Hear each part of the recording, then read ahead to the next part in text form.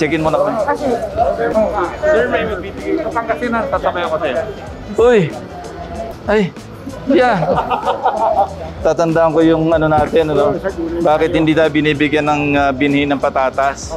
Dahil ang gusto ng ano, eh, ang dami requirement. Bakit import na import sa Australia? Thank you po sir sa ano, sa pag-intervene po. Hearing, oo.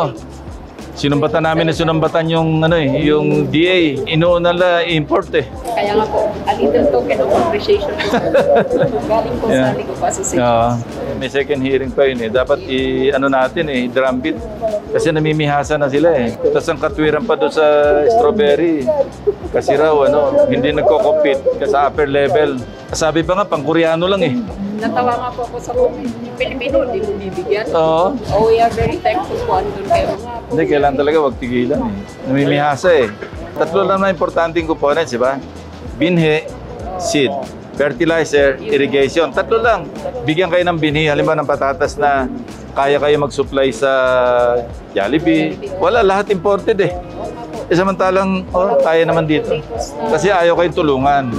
Sinasadya. Yung local, too much water content. That's why Hindi, hindi, bigyan ng technology.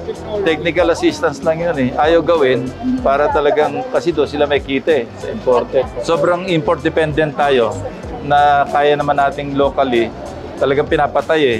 Ang tanong ko nga, ba't yung pinapatay yung kapwa Pilipino natin? Oh? Ay, nako. Sige. Yeah, thank you rin. Thank you. Thank you. Thank you. Thank you. President, my president.